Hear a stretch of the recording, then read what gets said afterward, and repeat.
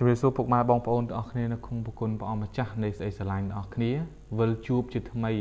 វិលជួបគ្នាជាថ្មីម្ដងទៀតនៅក្នុងឱកាសពេលនេះតាមពេលវេលានឹងម៉ោងដដែលសម្រាប់ការចូលរួមមកដើម្បីនឹងការសិក្សាព្រះបន្ទូលព្រះអង្គជុំគ្នាសូមពុកម៉ែបងប្អូនរីករាយក្នុងការសិក្សាមេរៀនមគ្គទេសនៃការសិក្សាមេរៀនថ្ងៃបរិសុទ្ធសម្រាប់មនុស្សចាស់នៅក្នុងសិភៅធំរបស់យើងគឺសេចក្តីអំណរនៃការបង្កើតមិត្តថ្វាយព្រះឬយើងហៅ ជាភាសាអង់គ្លេសហៅថា Sabbath School សូមពុកម៉ែបងប្អូនអញ្ជើញចូលរួមក្នុងការសិក្សានៅក្នុងសប្តាហ៍នេះដោយការសិក្សាក្នុងសប្តាហ៍នេះយើងផ្ដោតទៅលើមេរៀនទី11នៅក្នុងមេរៀនទី11និយាយអំពីការចែកចាយរឿងអំពីព្រះយេស៊ូវតើការចែកចាយអំពីរឿងព្រះយេស៊ូវតើមានរឿងអ្វីខ្លះដែលយើងជាអ្នកជឿព្រះយេស៊ូវយើងត្រូវចែកចាយនៅក្នុងសប្តាហ៍យើងមានខចងចាំប្រចាំសប្តាហ៍របស់យើងនៅក្នុងព្រះគម្ពីរយូហានខ្សែទី1ចំពុក5ខ13 នៅកាពីយូហានខ្សែទី1ចំពុក5ខ13បានសម្ដែងថាខ្ញុំបានទៅសេសេចក្តីទាំងនេះផ្ញើមកអ្នករាល់គ្នាដែលជឿដល់ព្រះនាមព្រះជាបុត្រានៃព្រះដើម្បីឲ្យអ្នករាល់គ្នាបានដឹងថាអ្នករាល់គ្នាមានជីវិតអស់កលជានិច្ចហើយអរគុណព្រះអង្គនេះជាខចងចាំប្រចាំសប្តាហ៍មុននឹងយើងទាំងអស់គ្នាធ្វើការសិក្សាឲ្យកាន់តែស៊ីជម្រៅ សូមពុកម៉ែបងប្អូនអញ្ជើញចូលរួមក្នុងការអធិដ្ឋានដើម្បីយាងប្រវត្តិមានរបស់ព្រះអង្គគង់លើបល្ល័ង្កចិត្តរបស់យើងទាំងអស់គ្នាដើម្បីឲ្យព្រះអង្គបានបំភ្លឺយើងទាំងអស់គ្នាឲ្យបានយល់អំពីបំណងផាតីព្រះអង្គផងដែរអញ្ចឹងសូមពុកម៉ែសូមចាត់អធិដ្ឋានទាំងអស់គ្នាជាមួយខ្ញុំ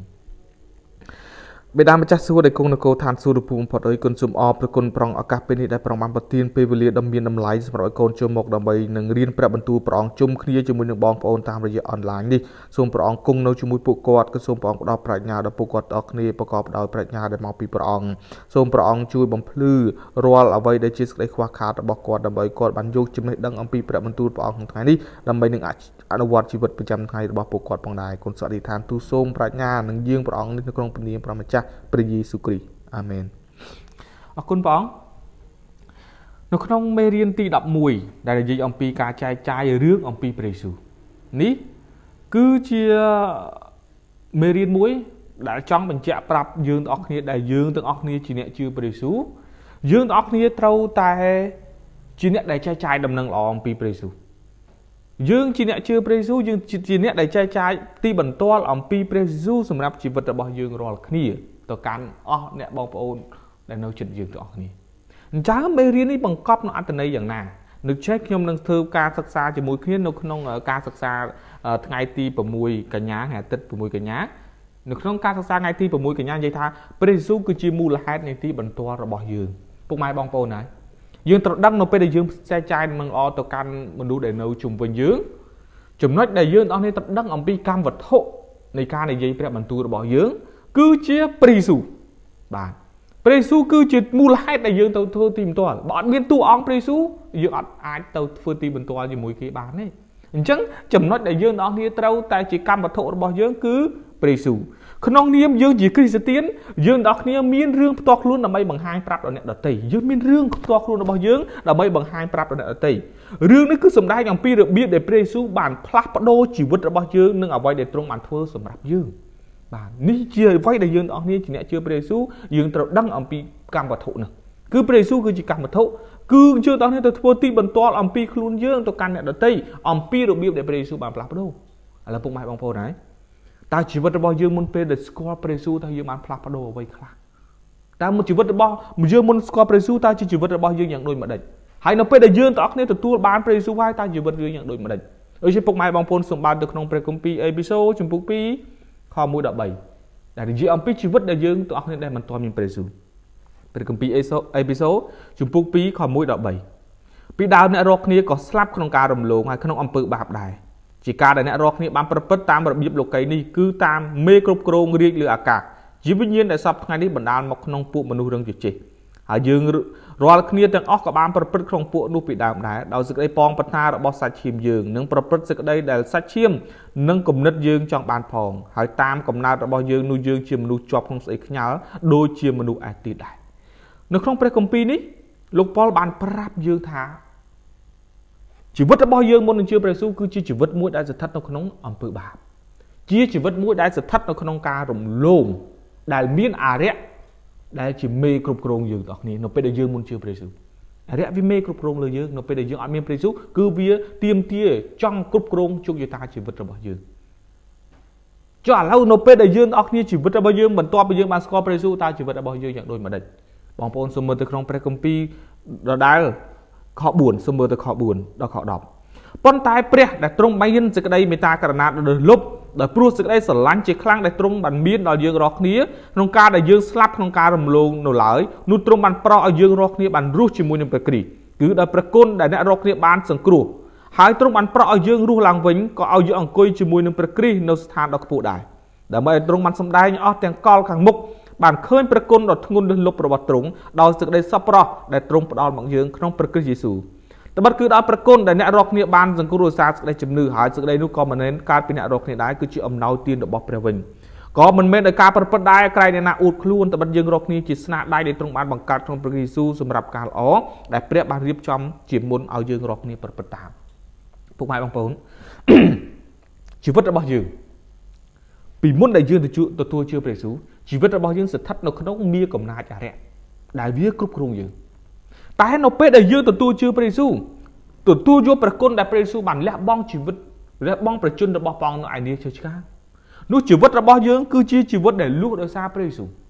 ព្រះយេស៊ូវបានលុះនៅអំពើបាបរបស់យើងទាំងអស់គ្នាព្រះយេស៊ូវគ្រីស្ទគឺជាព្រះដែលបានសង្គ្រោះយើងទាំងអស់គ្នានៅពេលដែលយើងទទួលជឿព្រះអង្គនោះឯង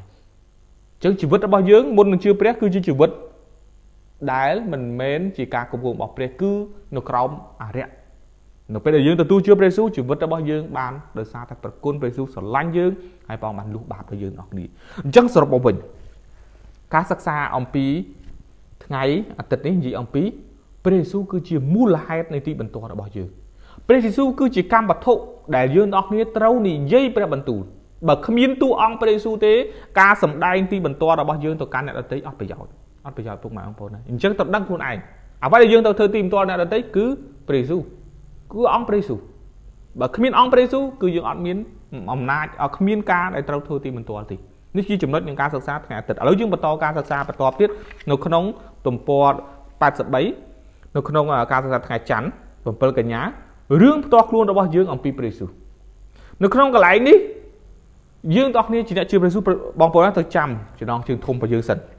នៅក្នុងមេរៀនទី11និយាយពីការចែកចាយរឿងអំពីព្រះយេស៊ូវយើងចំណុចទី1និយាយអំពីយើងទាំងអស់គ្នាត្រូវដឹងថាព្រះយេស៊ូវគឺជាកម្មវត្ថុរបស់យើងនៃការចែកចាយព្រះយេស៊ូវអញ្ចឹងការសិក្សាថ្ងៃច័ន្ទនិយាយថារឿងផ្ទាល់ខ្លួនរបស់យើងអំពីព្រះយេស៊ូវ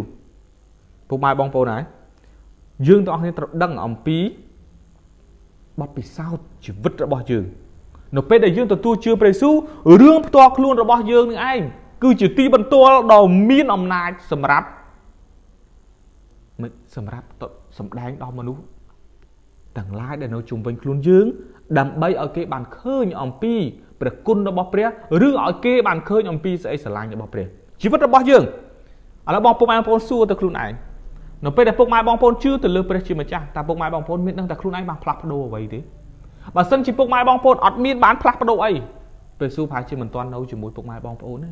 ពុកម៉ែបងប្អូននៅតែធ្វើនៅអំពើបាប ពុកម៉ែបងប្អូននៅតែធ្វើអំពើដែលមិនល្អពុកម៉ែបងប្អូននៅតែធ្វើអ្វីដែលជាមិនត្រូវបំណងផាតីរបស់ព្រះនោះមានន័យថាពុកម៉ែបងប្អូនមិនទាន់បានព្រះយេស៊ូវនៅក្នុងចិត្តទេដូច្នេះបើសិនជាព្រះយេស៊ូវមិនទាន់នៅក្នុងចិត្តរបស់យើងតើយើងទៅផ្សាយដំណឹងល្អពីគេដោយរបៀបណារឿងផ្ទាល់ខ្លួនរបស់យើងអំពីព្រះយេស៊ូវគឺជាលក្ខណៈមួយយ៉ាងពិសេសហើយក៏វាមានអត្តពលដែរអំពីរឿងផ្ទាល់ខ្លួនរបស់យើងបាទ ជីវិតរបស់យើងផ្ទាល់ខ្លួនក្នុងពេលដែលយើងជួបបញ្ហាហើយព្រះបានឆ្លើយតបមកយើងនោះហើយគឺជាអតិពលមួយយ៉ាងពិសេសដែលយើងទាំងអស់គ្នាត្រូវធ្វើទីបន្ទាល់គ្មានអ្វីខ្លាំងជាងទីបន្ទាល់ទេខ្ញុំជួបអ្នកស្រី Andy បាទអូសុំទោស Julie Julie កូនរបស់អ្នកម្ដាយ Judy ពេលដែលគាត់ឡើងអធិប្បាយយើងថាគាត់ឡើងអធិប្បាយ គាត់ថាគាត់អត់ចេះអធិប្បាយទេគាត់ឡើងមកនេះគឺគាត់ចេះតែធ្វើទីបន្ទាល់ពុកម៉ែបងប្អូនគាត់ថាគាត់អត់ចេះអធិប្បាយព្រះបន្ទូលតែគាត់ចេះតែឡើងមកគាត់ធ្វើទីបន្ទាល់ហើយជាចំណុចរបស់ពុកម៉ែបងប្អូនត្រូវដឹងនៅពេលដែលយើងទាំងអស់គ្នាត្រូវដឹងថាអ្វីទៅដែលជារឿងសំខាន់របស់យើង គឺទីបន្ទាល់របស់យើងដែលព្រះយេស៊ូវបានធ្វើការអញ្ចឹងចំណុចទី1គឺកម្មវត្ថុដែលយើងត្រូវនិយាយគឺព្រះយេស៊ូវហើយចំណុចទី2ដែលយើងត្រូវដឹងទាំងអស់គ្នាគឺរឿងផ្ទាល់ខ្លួនរបស់យើង នៅពេលដែលព្រះយេស៊ូវបានធ្វើការនៅក្នុងចិត្តរបស់យើងហើយយើងយករឿងដែលព្រះយេស៊ូវបានធ្វើនៅក្នុងចិត្តរបស់យើងទៅប្រាប់ដល់ទៅនោះហើយគឺជាអត្តពលយើងមិនបាច់ទៅអូពុកម៉ែបងប្អូនណាបើកកាពីជាមួយខ្ញុំរៀនកាពីខ្ញុំពុកម៉ែបងប្អូនណាទៅជាមួយលោកីគេស្ដាប់បានទេស្ដាប់អត់ចូលទេតែបើពុកម៉ែបងប្អូននិយាយអំពីទីបន្ទាល់ពីការអស្ចារ្យដែលព្រះបានធ្វើសម្រាប់ពុកម៉ែបងប្អូនគេស្ដាប់បានគេយល់ពីព្រះតែពុកម៉ែបងប្អូនដល់មកម្លេះខ្ញុំបរៀនកាពីបើកកាពីមកនេះមេកាពីនេះជាពុកនេះខនេះចប់ហើយពុកម៉ែបងប្អូនលោកីគេស្ដាប់អត់បាន ចឹងចំណុចនេះគឺយើងបងប្អូនត្រូវសំខាន់ណាក្នុងការចែកចាយព្រមទូព្រះអង្គគឺរឿងផ្ទាល់ខ្លួនរបស់យើងណារឿងផ្ទាល់ខ្លួនរបស់យើងពុកម៉ែបងប្អូនទៅប្រាប់ថាអូជឿព្រះស៊ូល្អណាព្រះស៊ូព្រះអង្គអត់ចង់ឲ្យយើងញ៉ាំស្រាទេព្រោះញ៉ាំស្រាទៅវាធ្វើឲ្យខូចរាងកាយព្រោះរាងកាយយើងជាវិហាររបស់ព្រះតែខ្លួនឯងចេញពីនិយាយមួយគេហ្នឹងទៅដាក់បាកែវពីរកែវពុកម៉ែបងប្អូនឃើញមើលតើអ្វីទៅជាទីបន្ទាល់របស់យើង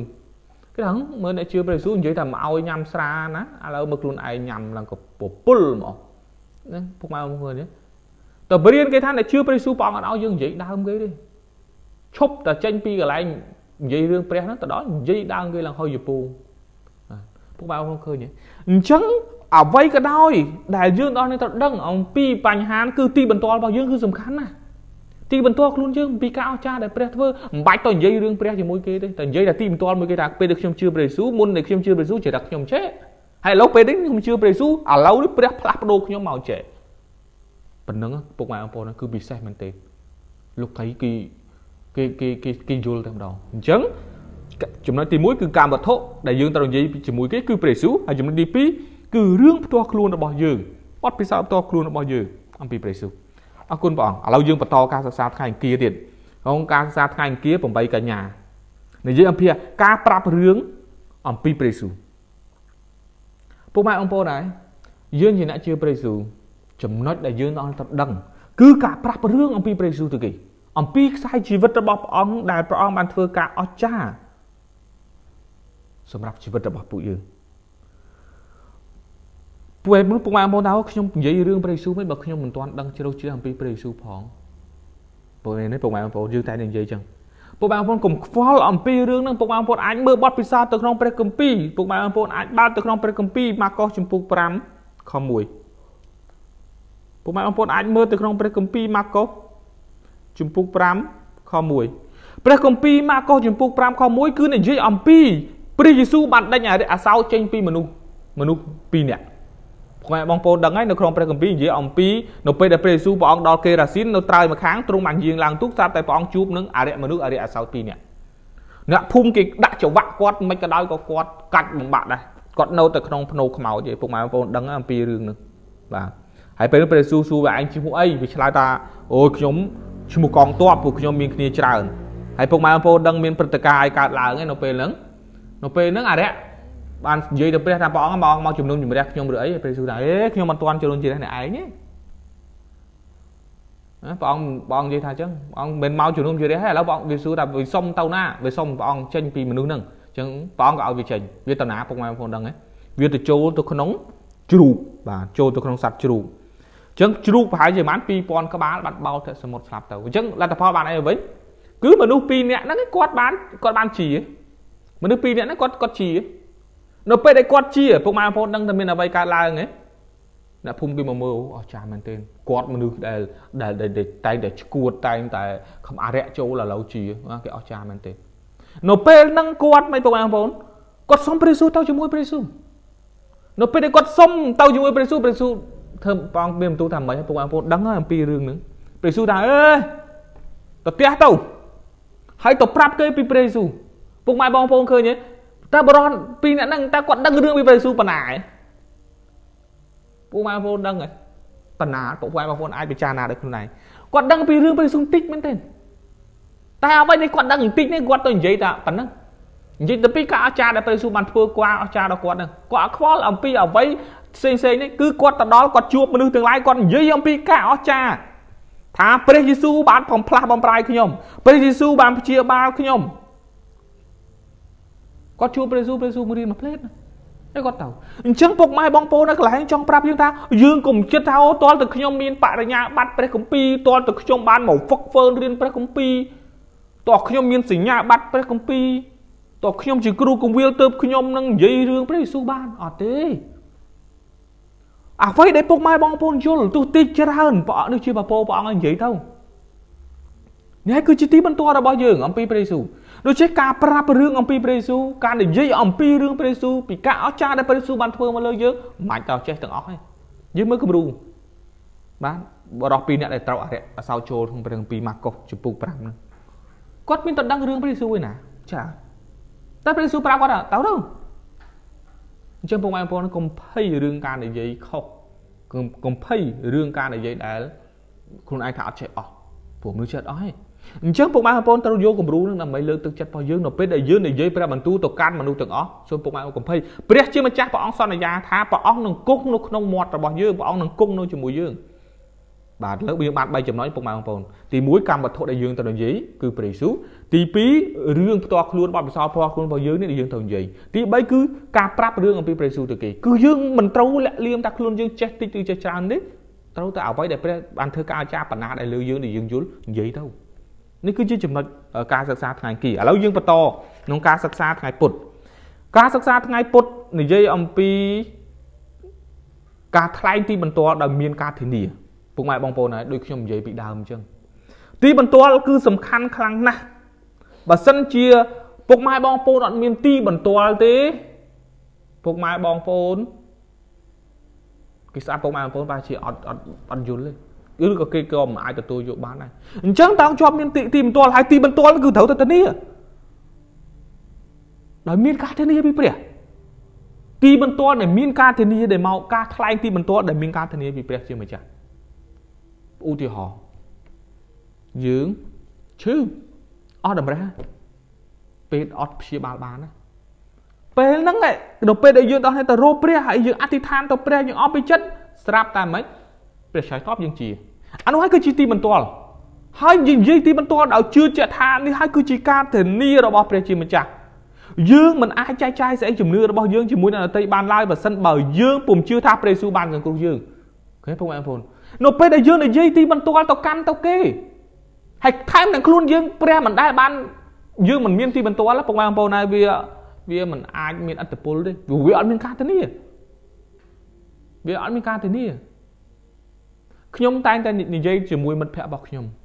ខ្ញុំថាហេតុអ្វីបានខ្ញុំនៅឆ្ងាយពីគ្រឿងញៀនហេតុអ្វីបានខ្ញុំអត់ញ៉ាំស្រាព្រោះខ្ញុំមានព្រះ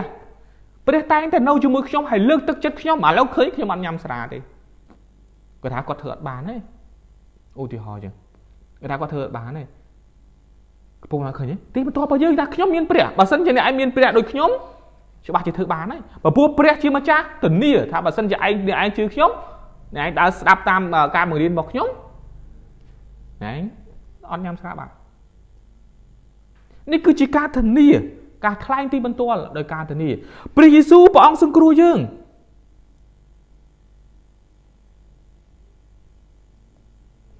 យើងត្រូវធ្វើទីបន្ទាល់ការសង្គ្រោះដែលព្រះយេស៊ូវអបទានមកយើងនោះហើយជាបទពិសោធន៍នោះហើយគឺជារឿងជាក់ស្ដែង ដែលមានការធានាយើងមិនយើងពុំអាចចែករំលែកនៅអ្វីដែលយើងគ្មាននោះឡើយពេលនេះបងប្អូនយើងមិនអាចចែករំលែកនៅអ្វីដែលយើងគ្មានទេពីពួកអីបើសិនជាព្រះមិនធ្វើការអស្ចារ្យជាមួយយើងព្រះអង្គមិនបានផ្លាស់ប្រែចិត្តយើងហើយយើងទៅនិយាយជាមួយគេពីព្រះពួកបងប្អូនគិតមើលមានអីកើតឡើង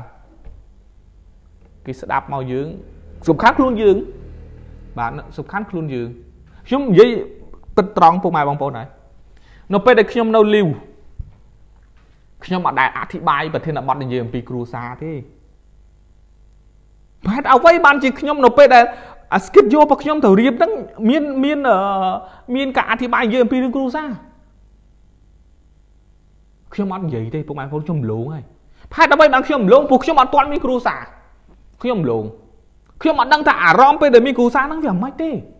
អញ្ចឹងយើងអត់មានបទពិសោធន៍ខ្លួនយើងសោះយើងទៅនិយាយនិយាយរឿងព្រះវាវាវាបញ្ហាពុកម៉ែបងប្អូនណា អញ្ចឹងខ្ញុំនេះគ្រាន់តែជាបទពិសោធន៍នេះអ្វីដែលខ្ញុំគ្រាន់តែជម្រាបពុកម៉ែបងប្អូននិយាយអំពីការបដៅកូនខ្ញុំអត់ទាន់មានកូនទេពុកម៉ែបងប្អូនឥឡូវដល់ឥឡូវនេះប្រធានបទនិយាយអំពីការអប់រំកូនខ្ញុំអត់ហ៊ានដែលយកមកអធិប្បាយទេពុកម៉ែបងប្អូនហេតុអ្វីបានខ្ញុំអត់យកមកអធិប្បាយព្រោះខ្ញុំអត់ទាន់មានការឆ្លងកាត់អំពីការមានកូនកាលមុនថាយើងមិនទាន់មានគ្រួសារយើងអាចនិយាយអំពីប្រធានបទគ្រួសារបានទេនេះសម្រាប់ខ្លួនខ្ញុំខ្ញុំដឹងខ្លួន ដល់ពេលដែលមានគ្រួសារហើយខ្ញុំហ៊ាននិយាយអំពីប្រធានបទគ្រួសារតែឥឡូវនេះដល់ដំណាក់កាលមួយទៀតអំពីការអប់រំទូមានកូនឲ្យតែប្រធានបទដែលនិយាយការអធិប្បាយអប់រំមានអប់រំកូនខ្ញុំអត់ដែលលើកយកមកនិយាយពុកម៉ែបងប្អូនពីព្រោះអីខ្ញុំអត់ទាន់មានកូនអញ្ចឹងខ្ញុំអត់ទាន់ដឹងថាអារម្មណ៍ពេលដែលមានកូននេះគួរបដៅកូនមិនទេព្រោះអីទៅរៀនកពីស្ដាប់ព្រះបន្ទូលរបស់ព្រះព្រះអង្គបរៀនហើយតែវាអត់មានបទពិសោធន៍ខ្លួនឯងវាអត់មានការផ្លាស់ប្រែនៅក្នុងជីវិតខ្លួនឯង លោកថាបរៀនគេនេះឯងត្រូវធ្វើកូនកូនប្រដៅកូនល្អចេះចេះចេះចេះដល់កូនខ្លួនឯងកើតមកអាលាតែពុកម៉ែបងប្អូនគិតមើលមិនចំខ្មាស់គេងាប់ទេគ្រូគង្វាលតែកូនសុទ្ធតែលាតែបាទបាទលាតែអញ្ចឹងពុកម៉ែបងប្អូនទៅគិតអំពីបញ្ហាហ្នឹងការថ្លែងទីបន្ទាល់ដោយមានការធានាដល់ពេលដែលពុកម៉ែបងប្អូននិយាយអំពីទីបន្ទាល់ពុកម៉ែបងប្អូនត្រូវតែមានការធានាថាពិតជាការនោះកើតឡើងមែនចំពោះពុកម៉ែបងប្អូន និយាយពីព្រះយេស៊ូវផ្លាស់ប្ដូរជីវិតរបស់យើងព្រះយេស៊ូវផ្លាស់ប្ដូរជីវិតរបស់យើងមែននិយាយអំពីព្រះយេស៊ូវសង្គ្រោះយើងតែយើងយល់អំពីការសង្គ្រោះដែលព្រះយេស៊ូវបានសង្គ្រោះហើយធ្វើអារម្មណ៍បញ្ញារបស់យើងយ៉ាងដូចម្ដេចនេះគឺជាការនិយាយទីបន្ទាល់ដែលមានការធានាបាទឥឡូវខ្ញុំបន្តទៀតនៅក្នុងការសិក្សាថ្ងៃពហុការសិក្សាថ្ងៃពហុនិយាយអំពីដំណឹងល្អដ៏ពិសេសក្នុងការថ្លែងទីបន្ទាល់បាទតើដំណឹងល្អដ៏ពិសេសអ្វីដែលយើងទាំងអស់គ្នាត្រូវក្នុងការ ថ្លែងទីបន្ទាល់ពួកបងប្អូនអាចបើកទៅក្នុងព្រះគម្ពីរកាឡាទីជំពូក2ខ20កាឡាទីជំពូក2ខ20ថាខ្ញុំបានជាប់ឆ្កាងជាមួយនឹងព្រះគ្រីស្ទប៉ុន្តែខ្ញុំរស់នៅមិនមែនជាខ្ញុំទៀតទេគឺព្រះគ្រីស្ទទ្រង់រស់ក្នុងខ្ញុំវិញហើយដែលខ្ញុំរស់ក្នុងសាច់ឈាមឥឡូវនេះនោះគឺរស់ដោយសេចក្តីជំនឿជឿដល់ព្រះយបុត្រានៃព្រះ ដែលទ្រង់ស្រឡាញ់ខ្ញុំក៏បានប្រគល់ព្រះអង្គទ្រង់ជំនួសខ្ញុំហើយដំណឹងល្អដ៏ពិសេសក្នុងការថ្លែងទីបន្ទាល់ យើងត្រូវតែមានដំណឹងល្អយើងត្រូវតែយល់អំពីដំណឹងល្អក្នុងការថ្លែងទីបន្ទាល់របស់យើងដូចជាក្នុងនេះលោកប៉ុលបានបង្រៀនថាខ្ញុំបានជាប់ឆ្កាងជាមួយព្រះគ្រីស្ទបានន័យថាអំពើបាបរបស់ខ្ញុំបានទៅឆ្កាងជាមួយព្រះគ្រីស្ទហើយប៉ុន្តែដែលខ្ញុំរស់នៅមិនមែនជាកម្មសិទ្ធិរបស់ខ្ញុំទេពួកបងប្អូនយល់អំពីកម្មសិទ្ធិខ្លួនឯងទេមានន័យថាយើងត្រូវបានព្រះគ្រីស្ទលួសយើងមកហើយ អញ្ចឹងជីវិតរបស់យើងមិនមែនជីវិតសម្រាប់ខ្លួនយើងទេមិនមែនជីវិតរបស់យើងសម្រាប់តែការសប្បាយការរស់ស៊ីការមានបានរបស់យើងនឹងទេ តែជីវិតរបស់យើងត្រូវតែរស់នៅសម្រាប់ព្រះគ្រីស្ទដូចជាក្នុងព្រះគម្ពីរថាអឺប៉ុន្តែដែលខ្ញុំរស់នៅមិនមែនជាខ្ញុំទេឡើយគឺព្រះគ្រីស្ទទ្រង់រស់ក្នុងខ្ញុំវិញ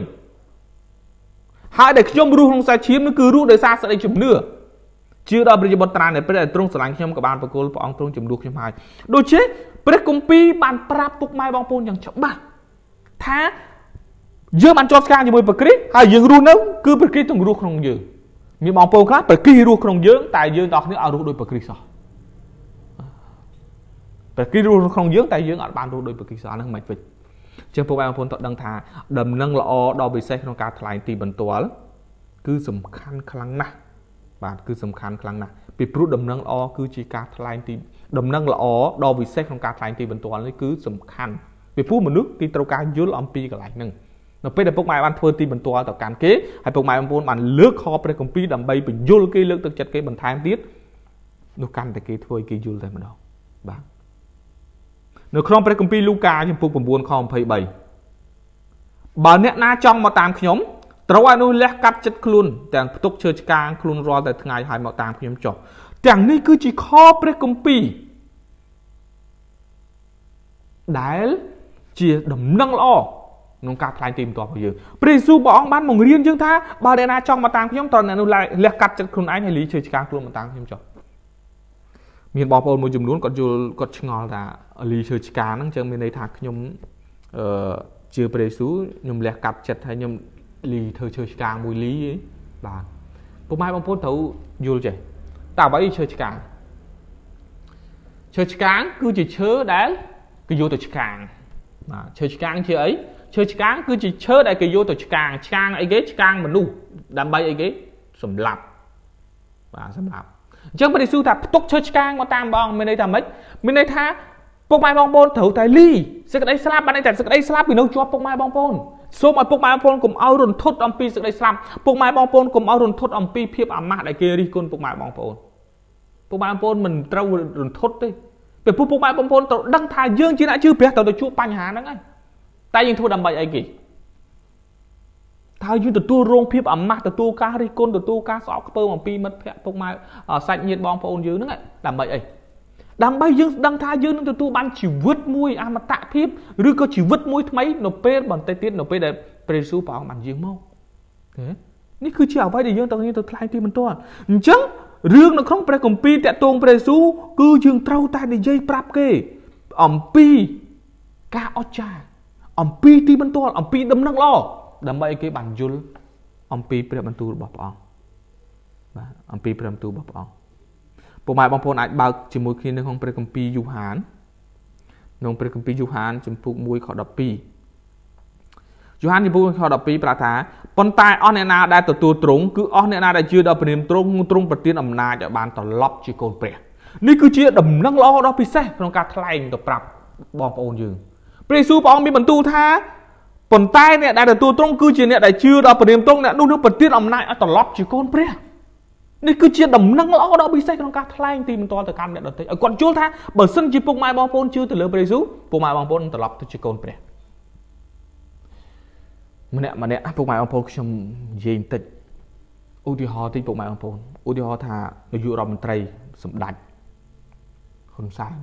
លោកថាឥឡូវសុំធ្វើយើងឲ្យកូនចិញ្ចឹមសុំធ្វើកូនចិញ្ចឹមពុកបងប្អូននឹងមានអារម្មណ៍បណ្ណាអ្នកខ្លះប្រហែលគាត់ថាគាត់និយាយថាហោះដល់លើមេឃបាននាយករដ្ឋមន្ត្រីសុំខ្ញុំធ្វើកូនធွာឬកូនចិញ្ចឹមនឹងសុបាយចិត្តមែនទេពុកបងប្អូនឥឡូវឧទាហរណ៍ថាស្ដាច់ផែនដីយើងបកូនណាសុំយើងធ្វើកូន យើងមានអារម្មណ៍មកយូរមិនបាច់ទេហក់កាឆេងឈោញម៉ាញសុបាយចិត្តប៉ុណ្ណាតែខ្ញុំក៏សុបាយចិត្តដែរតែពុកម៉ែបងប្អូនត្រូវដឹងកន្លែងនេះព្រះយេស៊ូវព្រះអង្គធានាថាបើសិនជាពុកម៉ែបងប្អូនជឿទៅដល់ព្រះនាមព្រះអង្គនោះព្រះអង្គប្រទានអំណាចឲ្យត្រឡប់ទៅជាកូនព្រះអង្គយើងនៅពេលដែលខ្លាចទៅជាកូនត្រឹមតែអ្នកមានបុណ្យស័ក្តិយើងរំភើបចុះបើព្រះគម្ពីរព្រះអង្គសន្យាសារនៅដំណឹងអស់ថាបើសិនជាអ្នកនរគ្នាទទួលជឿព្រះអង្គព្រះអង្គឲ្យអ្នកនឹងខ្លាចទៅជាកូនរបស់ព្រះពុកម៉ែបងប្អូនគិតមិនពុកម៉ែបងប្អូនសប្បាយចិត្តប៉ុណ្ណាទៅ កូនព្រះមិនកូនមនុស្សឯកូនព្រះបាទកូនព្រះ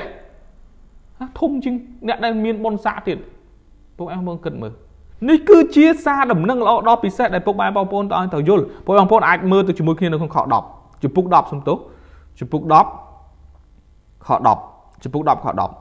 ឯចៅវាមកប្រយោជន៍តែលួចនិងសម្លាប់ហើយបំផ្លាញប៉ុណ្ណោះតែខ្ញុំវិញខ្ញុំមកដើម្បីឲ្យអ្នករកគ្នាមានជីវិតហើយមានជីវិតនោះពេញជាបរិបូរផង ព្រះយេស៊ូវព្រះអង្គមានបន្ទូលថាចោលវាមកតែលួចបំផ្លាញតែខ្ញុំមកដើម្បីមានជីវិតជីវិតគឺបរិបូរណ៍ព្រះយេស៊ូវព្រះអង្គមកដើម្បីប្រទានជីវិតនេះគឺជាសារដំណឹងល្អដែលព្រះយេស៊ូវប្រទានឲ្យថាអ្នកទាំងគ្នានឹងទទួលបានជីវិតបើសិនជាអ្នកទាំងគ្នាទទួលយកព្រះយេស៊ូវទទួលយកព្រះយេស៊ូវបងប្អូនអាចមើលទៅក្នុងជំពូក14មកខទៀតជំពូក14ខ27ពូក14ខ27ខ្ញុំຕົកសេចក្តីសុខនៅនឹងអ្នករាល់គ្នាគឺខ្ញុំឲ្យសេចក្តីសុខសាន្តរបស់ខ្ញុំដល់អ្នករាល់គ្នា ហើយដែលខ្ញុំឲ្យនោះមិនមែនដូចជាលោកីឲ្យទេកុំឲ្យចិត្តអ្នករកនេះថប់អារម្មណ៍ឬភ័យឡើយព្រះយេស៊ូវព្រះអង្គបានប្រទានសេចក្តីសុខសាន្តមួយពួកបងប្អូនថាតើព្រះយេស៊ូវប្រទានសេចក្តីសុខសាន្តអីគេពួកបងប្អូនប្រហែលជាឆ្ងល់អញ្ចឹងខ្ញុំសូមជម្រាបពួកបងប្អូនថាសេចក្តីសុខសាន្តដែលព្រះយេស៊ូវឲ្យគឺជាសេចក្តីសុខសាន្តខាងសតិសម្បញ្ញៈខាងផ្លូវអារម្មណ៍ពួកបងប្អូនហ្នឹងខ្ញុំអត់យល់អារឿងសតិបញ្ញៈបញ្ញៈ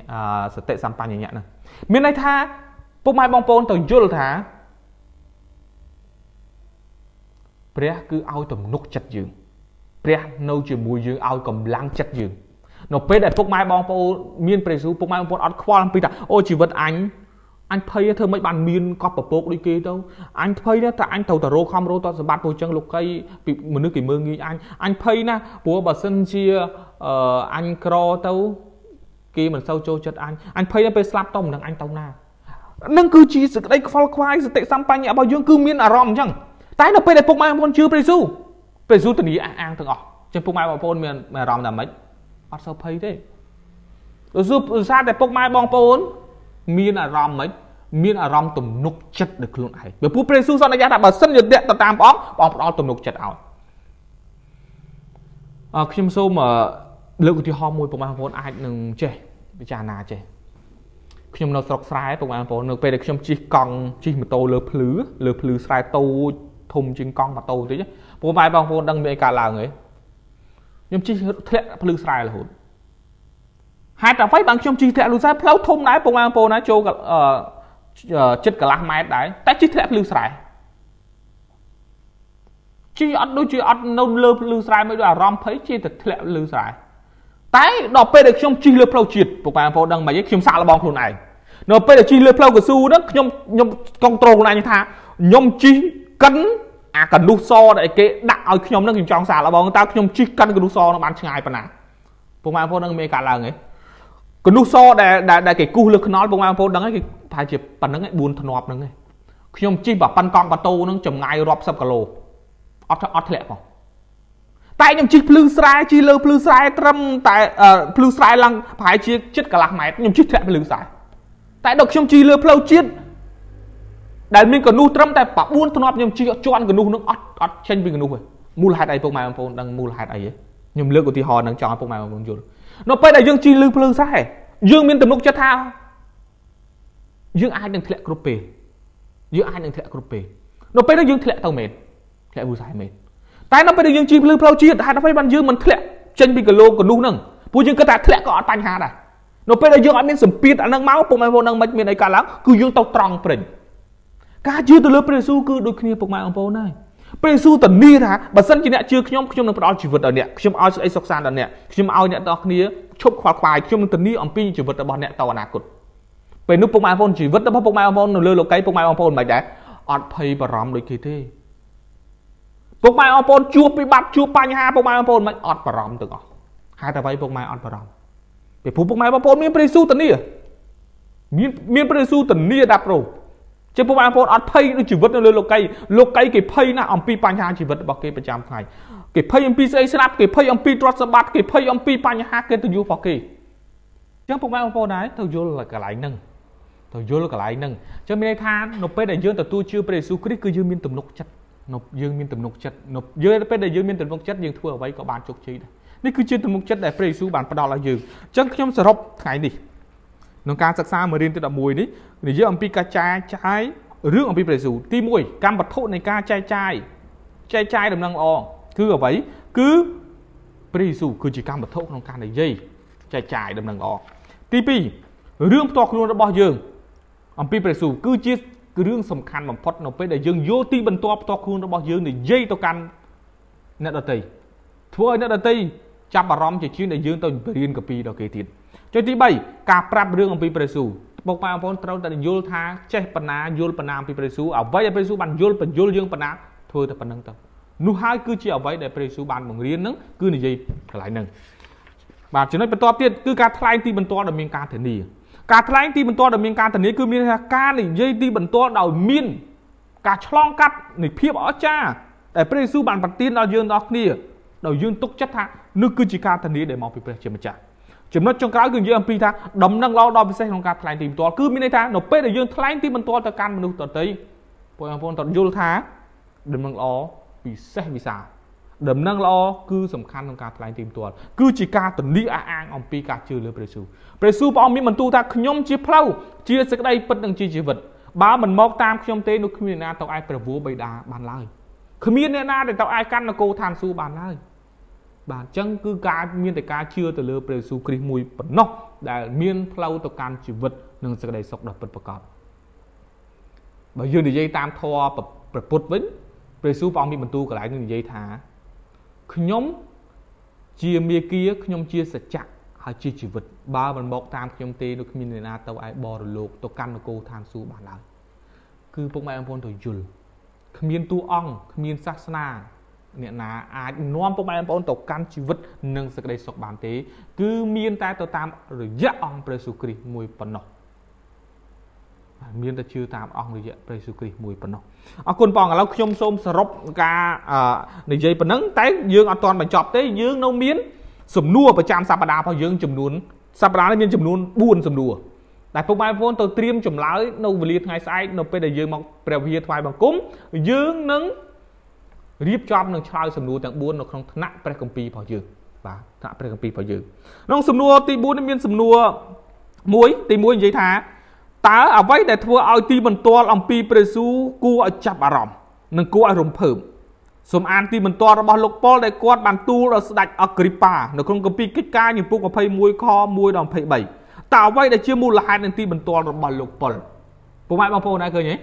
ថាតើអ្វីទៅដែលដែលធ្វើឲ្យទីបន្ទាល់អំពីព្រះយេស៊ូវគួរចាប់អារម្មណ៍សំខាន់គឺជីវិតតខ្លួនរបស់យើងលោកប៉ុលនៅពេលដែលគាត់ថ្លែងដំណឹងទៅកាន់អគ្រីប៉ាស្ដេចអគ្រីប៉ាស្ដេចអគ្រីប៉ាថាអើយបុលឯងឈួតហើយបុលឯងឈួតហើយពលថាគាត់មិនឈួតទេគាត់គាត់ប្រាប់ពុកម៉ែបងថាពីមុនមកខ្ញុំក៏អ្នកបៀតបៀនគ្រីបរិស័ទខ្ញុំស្អប់ខ្ញុំថែមទាំងសម្លាប់គ្រីបរិស័ទទៀតតែថ្ងៃនេះខ្ញុំខ្លាចជាគ្រីបរិស័ទខ្ញុំមិនឈួតទេពួកឯងផងឃើញទេនៅពេលហ្នឹងអគ្រីប៉ាថាអូខ្ញុំចង់អ្នកឯងនិយាយចង់ខ្ញុំខ្ញុំចង់ខ្លាចគ្រីស្ទានដូចអ្នកឯងទេអញ្ចឹងទីបន្ទាល់គឺសំខាន់ខ្លាំងណាស់បាទដូចជាជីវិតរបស់លោកប៉ុលជើងពុកម៉ែបងត្រៀមចម្លើយនៅក្នុងវេលាថ្ងៃស្អែក សំណួរទី2តើលោកអ្នកគិតថាមូលហេតុអ្វីខ្លះដែលធ្វើឲ្យទីបន្ទាល់របស់លោកអ្នកអំពីព្រះយេស៊ូវពោពេញទៅដោយអំណាចនោះតើលោកអ្នកនឹងឆ្លើយតបទៅកាន់សំណួរដែលដែលសួរដោយអ្នកណាម្នាក់ដូចម្ដេចដែលថាតើខ្ញុំគួរធ្វើយ៉ាងដូចម្ដេចប្រសិនបើខ្ញុំមិនមានបទពិសោធន៍ដូចអ្នកតើខ្ញុំគួរតែកាន់តាមព្រះយេស៊ូវយ៉ាងដូចម្ដេចពុកបងប្អូនត្រូវត្រៀមចម្លើយបើសិនជាមានមនុស្សគេសួរពុកបងប្អូនថា ចុះបើខ្ញុំអត់មានទីបន្ទាល់អត់មានបទពិសោធន៍ដូចអ្នកតើខ្ញុំធ្វើដូចម្ដេចទៅដើម្បីទទួលបានការចែកចាយព្រះបន្ទូលបងចឹងពុកបងប្អូនទៅបញ្យល់ពួកគេมันអត់មានទីបន្ទាល់ទេនៅក្នុងជីវិតរបស់យើងពុកម៉ែបងប្អូនហើយគ្រាន់តែរឿងខ្លះយើងអត់ចាប់អារម្មណ៍ចឹងពុកម៉ែបងប្អូនទៅយល់ថាព្រះប្រកាសជាមានទីបន្ទាល់សម្រាប់ជីវិតរបស់យើងมันអត់មានទេហើយមិនបាច់តបបាត់ពិសោធន៍ដូចគ្នាទៅតព្រះធ្វើប្រុសជំងឺដូចខ្ញុំទៅខ្ញុំប្រកែកនិយាយដូចនឹងឯងអត់ទេ អាចមានលក្ខណៈផ្សេងខ្លះតែព្រះបានធ្វើការអស្ចារ្យទីបន្ទាល់របស់យើងផ្សេងផ្សេងពីគ្នាជីវិតរបស់ពួកយើងបានផ្សេងផ្សេងពីគ្នាបាទផ្សេងផ្សេងពីគ្នាខ្ញុំលើកឧទាហរណ៍មួយដូចជាម្ដាយរបស់ខ្ញុំម្ដាយរបស់ខ្ញុំមុនជឿព្រះយេស៊ូវខ្ញុំទៅជួបអ្នកណាក៏ដោយក៏គេនិយាយដែរថាម៉ែខ្ញុំកាចហើយខ្ញុំក៏នៅទាន់ដែរពុកម៉ែបងប្អូនបើសិនជាគាត់ខោកអាកញ្ញដៃនេះ4នេះឃើញនឹង4ណាបើខោកកាចណាស់ តែនៅពេលដែលគាត់ជឿព្រះយេស៊ូវគ្រីស្ទមានអ្វីកើតឡើងគាត់ស្លូតណាគាត់ស្លូតនេះគឺជាទីបន្ទាល់មួយជីវិតរបស់គាត់ដែលគាត់អាចទៅទីបន្ទាល់ទៅកាន់មនុស្សដទៃអ្នកណាគេស្គាល់គាត់អ្នកណាដឹងថាគាត់នឹងកាចដែរតែមិនចេះកាចដើរជេរគេនោះទេតែគាត់កាចចង់ឲ្យកូនចៅល្អរបៀបរបស់គាត់គឺប្រើអំពើហិង្សាដើម្បីឲ្យកូននេះវាត្រូវត្រង់តែដល់មានព្រះមិនអត់ទេនិយាយធម្មតាស្ដាប់ស្ដាប់បើមិនស្ដាប់ក៏អត់យកព្រះ ដឹកនាំជាទីបន្ទាល់ចំណុចទី3តើអ្វីខ្លះដែលលោកអ្នកពុំគួរនិយាយនៅពេលដែលលោកអ្នកចែកចាយទីបន្ទាល់ជាមួយនឹងដតេដែលពុំជឿលើព្រះយេស៊ូវតើលោកអ្នកគួរពុំនិយាយអ្វីនៅពេលដែលយើងចែកចាយទីបន្ទាល់ជាមួយអ្នកដតេដែលគេពុំជឿព្រះយេស៊ូវពុកបងប្អូនថាគួរថាមិនគួរចែកចាយគេណោះដឹងខ្លួនឯងអញ្ចឹងនៅក្នុងថ្នាក់ Sabbath School នៅក្នុងថ្នាក់ព្រះគម្ពីរថ្ងៃបោសុតស្អែកហ្នឹងពួកបងប្អូនត្រៀមចម្លើយហ្នឹង តើរឿងអ្វីដែលយើងមិនគួរនិយាយទីបន្ទាល់អ្វីដែលយើងមិនគួរនិយាយទៅកាន់អ្នកដែលគេមិនទាន់ជឿព្រះយេស៊ូវពុំជឿព្រះយេស៊ូវហើយមូលហេតុអីបានយើងមិននិយាយទីបន្ទាល់ហ្នឹងហេតុការណ៍ហ្នឹងយើងត្រៀមចម្លើយសំណួរទី4មូលបើសូមគិតអំពីភាពប្រកបប្រជាដែលថាយើងត្រូវបានសង្គ្រោះតើហេតុអ្វីបានជារឿងនេះគឺជាផ្នែកមួយដ៏សំខាន់នៃបទពិសោធន៍ជាគ្រិស្ទានរបស់យើង តើយើងអាចដឹងប្រកាសថាយើងត្រូវបានសង្គ្រោះដោយរបៀបណាទន្ទឹងនោះតើហេតុអ្វីបានជាយើងត្រូវប្រុងប្រយ័ត្នក្នុងការជឿថាយើងត្រូវបានសង្គ្រោះហើយនៅពេលដែលយើងពុំទាន់បានសង្គ្រោះនៅឡើយនោះបងប្អូនហើយយើងគិតថាយើងដល់គ្នាបានសង្គ្រោះឥឡូវគេក្នុងសំណួរចង់សួរថាតើយើងដល់គ្នាមានបទពិសោធន៍យ៉ាងណាចំពោះយើងជាគ្រីស្ទានដើម្បីឲ្យយើងដឹងប្រកាសថាយើងបានសង្គ្រោះពុកម៉ែបងប្អូនដឹងរបៀបណាដែលថាខ្លួនឯងបានសង្គ្រោះ បាទពួកយើងទៅផ្សាយនឹងល្អគេប្រាប់គេថាអ្នកជឿព្រះយេស៊ូវបានសង្គ្រោះឥឡូវក៏សំណួរសួរយើងតើយើងខ្លួនឯងប្រកាសប៉ុណ្ណាតែយើងជឿព្រះយេស៊ូវបានសង្គ្រោះឥឡូវបកមកសំណួរយើងវិញចុះបើសិនជាយើងមិនប្រកាសថាខ្ញុំកំពុងតែជឿព្រះយេស៊ូវបានសង្គ្រោះផងហើយយើងទៅនិយាយដំណឹងល្អពីព្រះយេស៊ូវទៅគេវាដូចជាអត់អត់មានកម្លាំងធម៌ពលពុកម៉ែបងប្អូនហើយវាវាអត់មានកម្លាំងធម៌ពលពួកខ្លួនឯងអត់យល់ផងហើយទៅនិយាយបាទ វាធ្វើអីគេបើសិនជាគេបើសិនជាគេអត់សួរយើងគេបច្ច្រាស់មកយើងវិញអត់អីទេពុកម៉ែបងប្អូនតែបើសិនជាគេបច្ច្រាស់មកវិញបងប្អូនហើយពិបាកពិបាកអញ្ចឹងពួកបងប្អូនទៅយល់ខ្លួនឯងច្បាស់ខ្លួនឯងស្វែងយល់ពីខ្លួនឯងថាព្រះបានធ្វើការអស្ចារ្យអីនៅពេលដែលយល់ហើយយើងទៅនិយាយព្រះបន្ទូលព្រះអង្គគេយល់ខ្ញុំត្រូវដឹងពុកម៉ែបងប្អូនហើយរួចវិធីសាស្ត្រហ្នឹងខ្ញុំធ្លាប់ប្រើតែមិនមែនប្រើក្នុងក្នុងការផ្សាយនឹងអយក្នុងការរៀននៅពេលដែលខ្ញុំរៀនមហាវិទ្យាល័យ ខ្ញុំឡើងធ្វើបទបង្ហាញកន្លែងហ្នឹងខ្ញុំអត់ច្បាស់ទេពុកម៉ែបងប្អូនហើយតែខ្ញុំនិយាយដូចច្បាស់មែនទេហើយខ្ញុំបុកពោះភួយភួយមកក្នុងពោះខ្លួនឯងថាបើសិនជាគេសួរចំណុចហ្នឹងខ្ញុំច្បាស់ជាងាប់ហើយតែធ្វើកន្លែងហ្នឹងអាកន្លែងដែលខ្លួនឯងច្បាស់មុខឡើងងាប់និយាយឡើងកំាំដឹងមិនទេបងប្អូនគេអត់សួរយើងមែនឬខ្លួនចុះបើគេសួរគិតមិនមិនអត់ច្បាស់កន្លែងហ្នឹងអញ្ចឹងចំណុចនេះដូចគ្នា គឺនៅពេលដែលយើងនិយាយអំពីព្រះយេស៊ូវយើងត្រូវតែច្បាស់ខ្លួនឯង តែយើងច្បាស់ខ្លួនឯងយ៉ាងដល់របៀបណាបើសិនជាយើងអត់ច្បាស់ខ្លួនឯងផងយើងទៅនិយាយព្រះយេស៊ូវជឿព្រះយេស៊ូវបានសង្គ្រោះជឿព្រះយេស៊ូវបានសង្គ្រោះហើយខ្លួនឯងនឹងបានសង្គ្រោះអត់ដឹងខ្លួនឯងទេខ្លួនឯងកំពុងផ្លាស់ប្រែគេខ្លះអត់ខ្លួនឯងទទួលបានការប្រោសលុះពីព្រះហ៎យល់ខ្លួនឯងទេខ្លួនឯងអត់យល់បានតិចជាងពុកម៉ែបងប្អូនហើយត្រូវយល់អញ្ចឹងសំណួរទាំង4នេះយើងត្រៀមចម្លើយក្នុងថ្នាក់ព្រះគម្ពីរថ្ងៃបរិសុទ្ធរបស់យើងនៅវេលាថ្ងៃស្អែកចឹងខ្ញុំសូមអរគុណព្រះអង្គប៉ុណ្ណឹងខ្ញុំសូមបញ្ចប់ក្នុងការចែកចាយព្រះបន្ទូលព្រះអង្គថ្ងៃនឹងប៉ុណ្ណឹងពិភាក្សាប៉ុណ្ណឹងយើង ជួបគ្នានៅក្នុងសប្តាហ៍ក្រោយ តាមពេលវេលានឹងម៉ោងដដែលគឺក្នុងថ្ងៃសុក្រវេលាម៉ោង8យប់តទៅយើងសិក្សាជាមួយគ្នានៅក្នុងមេរៀនទី12បន្តទៀតនិយាយអំពីការចែកចាយសារដ៏មានតម្លៃជើពុកម៉ែបងប្អូនដែរពុកម៉ែបងប្អូនអាចរកបានអាន អំពីអ្វីដែលខ្ញុំកំពុងនិយាយនេះនៅក្នុង page របស់យើងខ្ញុំដែលផុសជារៀងរាល់ពេលព្រឹកពុកម៉ែបងប្អូនអាចបើកអានអត់ច្រើនទេពុកម៉ែបងប្អូនតែតែមួយទំព័រទេមួយថ្ងៃក្នុងនាមយើងជាគ្រីស្ទាន ខ្ញុំចាំបានបទចម្រៀងមួយពុកម៉ែបងប្អូនហើយគេសួរថាអត់ចម្រៀងគេច្រៀងថាតើយើងគ្រីស្ទានមានភារកិច្ចនឹងធ្វើអ្វីណាតើយើងមានភារកិច្ចធ្វើអ្វីក្នុងក្នុងចម្រៀងនិយាយថាយើងជាគ្រីស្ទានមានភារកិច្ចអានគម្ពីរអានព្រះបន្ទូលរបស់ព្រះហើយចុះបើយើងជាគ្រីស្ទានយើងខ្ជិលអានគម្ពីរអានព្រះបន្ទូលរបស់ព្រះតើយើងជាគ្រីស្ទានហើយយើងទៅនិយាយតើព្រះស៊ូសង្គ្រោះយើងមិនទៅ បើយើងខ្ជិលនឹងអានកាពីផងបើយើងចំណាយពេលជាមួយនឹង Facebook ចំណាយពេលនឹងទូរស័ព្ទអត់ប្រយោជន៍ហ្នឹងខ្លាំងជាងយើងអានកាពីទៀតអញ្ចឹងយើងដល់ទៅយល់កន្លែងហ្នឹងអញ្ចឹងអរគុណដល់ព្រះអង្គអញ្ចឹងសន្យាថាជួបគ្នានៅក្នុងសប្តាហ៍ក្រោយតាមពេលវេលានិងម៉ោងដដែលជាមួយនឹងខ្ញុំតែមុននឹងចប់យើងនឹងអធិដ្ឋានជាមួយគ្នាសិនបាទតែខ្ញុំនឹងជម្រាបពុកម៉ែបងប្អូនថាដោយសារតែវីដេអូរបស់យើងដាច់ចឹងសូមពុកម៉ែបងប្អូនបន្តសូមបងប្អូនបងប្អូន មើលទៅក្នុងបន្ទាប់គ្នាហ្នឹងពុកម៉ែបងប្អូនអាចអូសមកក្រោមមើលក្នុងវីដេអូទី1សិនពូនេះវីដេអូទី2ដោយសារតែយើងបានដាច់មិញនឹងបញ្ហាបច្ចេកទេសតែឥឡូវយើងមកវិញដំណើរការល្អហើយអញ្ចឹងសូមពុកម៉ែបងប្អូនអាចបើស្ដាប់បន្ទាត់អាចស្ដាប់ពីវីដេអូមុនបានវីដេអូពីលើគ្នានឹងបានចុះគុណព្រះអង្គអញ្ចឹងយើងសូមសូមអធិដ្ឋានបញ្ចប់ជាមួយខ្ញុំ បិតាម្ចាស់សួគ៌ដែលគង់នគរឋានសួគ៌រពងផុតឲ្យគុណសូមអរប្រគុណព្រះអង្គឱកាសពេលនេះដែលព្រះបានប្រទានពេលវេលាសម្រាប់កូនទាំងគ្នាបានចូលមកដើម្បីនឹងរៀនព្រះបន្ទូលព្រះអង្គនិងពិភាក្សាព្រះបន្ទូលព្រះអង្គនៅវេលាល្ងាចនេះសូមព្រះអង្គគង់នៅជាមួយពុកម៉ែបងប្អូនដែលបានសិក្សាជាមួយទូព្រះបង្គំតាមរយៈអនឡាញសូមព្រះអង្គដល់ព្រះពរដល់គាត់សូមព្រះអង្គប្រទាននៅសេចក្តីក្លាហានដល់គាត់សូមព្រះអង្គជួយប្រទានបទពិសោធន៍សម្រាប់ជីវិតរបស់គាត់ដើម្បីឲ្យគាត់អានអនុវត្តព្រះបន្ទូលព្រះអង្គឲ្យគាត់បានខ្លែងសារអំពីព្រះបន្ទូលព្រះអង្គទៅកាន់មនុស្សដទៃឲ្យគេបានយល់អំពីព្រះបន្ទូលព្រះអង្គដើម្បីឲ្យព្រះអង្គបានប្រោះមេត្តាឲ្យពួកគេបានសេចក្តីសង្គ្រោះដូចជាទូព្រះបង្គំផងដែរហើយប្រងឲ្យសូមប្រងជួយបញ្ជារាល់ជំងឺកាចអាក្រក់ពីពួកគាត់ទាំងអស់គ្នាក៏សូមប្រងជួយប្រទាននៅអ្វីដែលជាសេចក្តីខ្វះខាតរបស់ពួកគាត់ទាំងអស់គ្នាហើយនៅវេលាយប់នេះសូមប្រងចាត់នៅទេវតាសរសើរអ្នករបស់ព្រះអង្គដើម្បីនឹងការពារថែរក្សាការទទួលទានដំណេករបស់ពួកគាត់ក៏ដូចជាទូព្រះបង្គំប្រកបដោយសេចក្តីសុខនិងសុវត្ថិភាពផងដែរគុណសូមអរប្រគុណទ្រង់គុណសុខដីឋានបញ្ចប់ការសិក្សាព្រះបន្ទូលព្រះអង្គនេះនៅក្នុងព្រះនាមព្រះម្ចាស់ព្រះយេស៊ូវគ្រីស្ទអាមែន